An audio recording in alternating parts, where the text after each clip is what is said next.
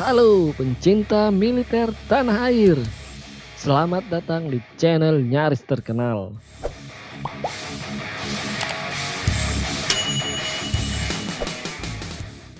Presiden Donald Trump mengatakan salah satu kapal perang Amerika Serikat telah menghancurkan sebuah pesawat tanpa awak milik Iran di Selat Hormuz.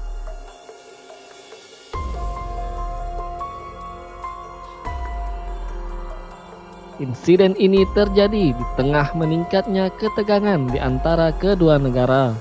Trump mengatakan kapal perang USS Boxer, sebuah kapal serbu amfibi, mengambil tindakan defensif setelah drone itu berada dalam jarak 1000 yard dari kapal perang dan mengabaikan seruan untuk mundur. Pesawat tak berawak tersebut mengancam keselamatan kapal Amerika dan awaknya. Trump pun meminta negara lain untuk mengutuk Iran serta melindungi kapal mereka sendiri. Ini adalah yang terbaru dari banyak tindakan provokatif dan bermusuhan oleh Iran terhadap kapal yang beroperasi di perairan internasional. Amerika Serikat berhak untuk membela personil, fasilitas dan kepentingannya dan menyerukan kepada semua negara untuk mengutuk upaya Iran untuk mengganggu kebebasan navigasi dan perdagangan global.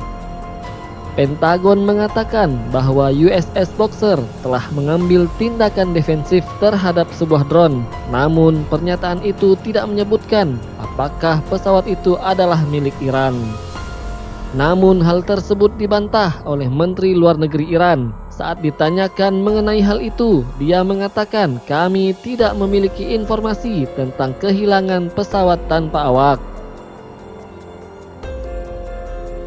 Ketegangan di wilayah Teluk sangat tinggi setelah keputusan Trump pada Mei tahun lalu untuk menarik diri dari perjanjian nuklir multilateral 2015 dengan Iran dan memberlakukan embargo minyak dan perbankan terhadap Iran telah ada peningkatan tajam dalam insiden di Teluk Persia, memperburuk kekhawatiran tentang Amerika dan Iran akan jatuh dalam perang. Iran baru-baru ini menembak jatuh pesawat tak berawak Amerika yang katanya terbang di atas perairan Iran. Sedangkan Trump membatalkan serangan rudal pembalasan yang direncanakan pada menit terakhir. Sebelum terjadi penembakan drone ini, Iran mengatakan bahwa Garda Revolusinya telah menyita sebuah kapal tanker minyak asing dan 12 awaknya karena menyelundupkan bahan bakar ke luar negeri.